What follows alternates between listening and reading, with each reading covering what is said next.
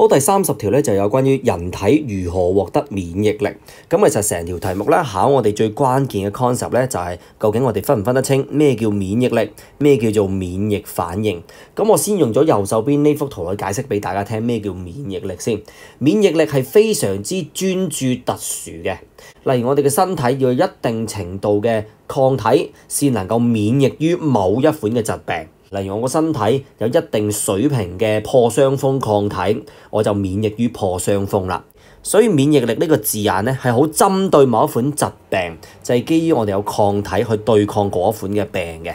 而免疫反應咧係個手段，就係話俾我哋聽，我哋個身體點樣去對付一啲唔屬於我哋自己嘅嘢。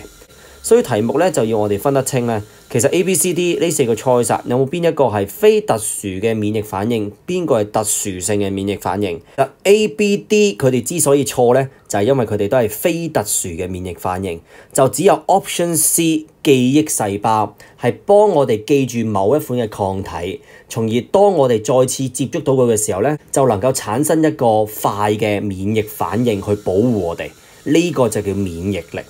但係 A、B、D 佢之所以衰係因為佢都唔係針對某一款嘅疾病嘅，細菌都打㗎啦，係有細菌入侵咁就會發炎㗎啦，有流血自不然就會凝血，然後唔俾啲病原體入侵㗎啦。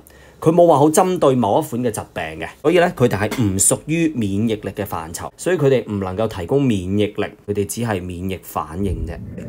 Question thirty is asking which of the following provide immunity to the human body. So in this question, the critical concept is ask us to distinguish immunity from immune response. So what does it mean the immunity? It means there is a certain amount of antibody in our body to fight against a particular pathogens. So that's why immunity to a disease is very specific, where there are a specific antibodies to the particular disease in the body's system. And for the immune response, actually is a process, a complex biological system that we can recognize and tolerate whatever belongs to self and to recognize and reject what is foreign.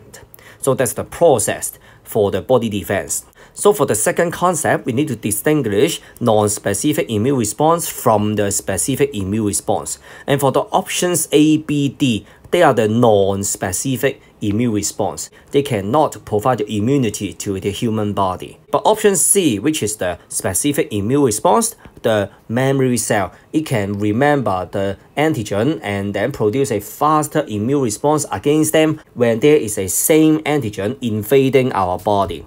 So that's the specific immune response.